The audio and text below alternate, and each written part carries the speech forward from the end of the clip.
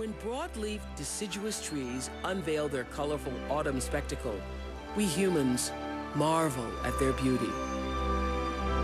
But for them, it's the outward sign of a life and death struggle for survival.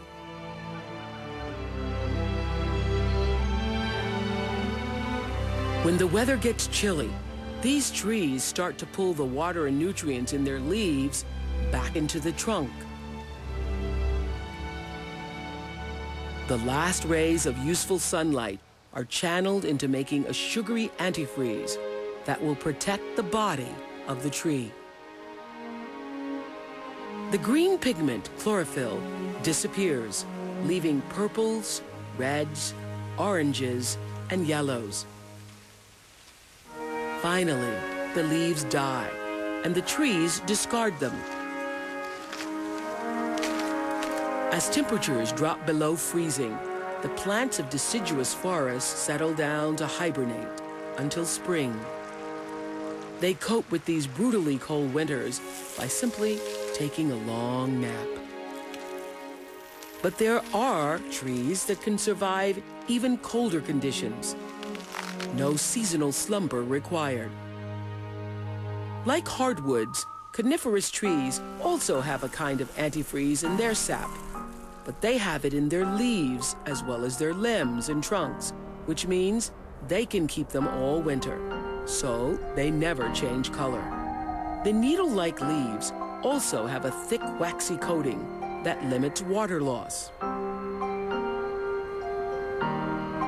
The winters here in northern Minnesota are long and hard. The trees have to survive temperatures down to minus 40 degrees Fahrenheit for five months.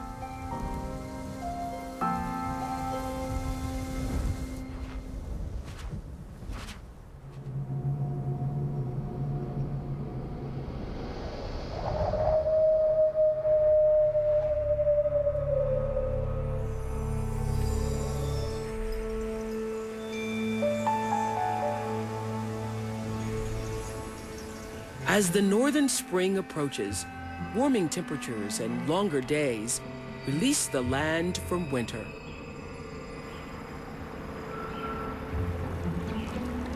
Plants that have laid dormant begin to grow again. Like these, buried all winter in the mud at the bottom of this frozen lake.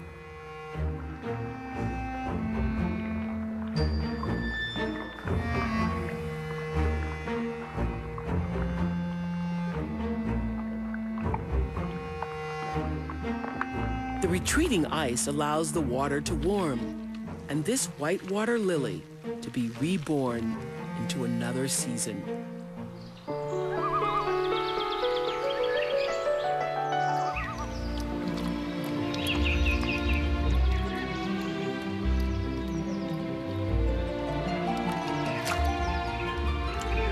And as all the trees emerge from their winter slumber, the vivid green of new leaves returns to the land. Along with the perfume of spring flowers.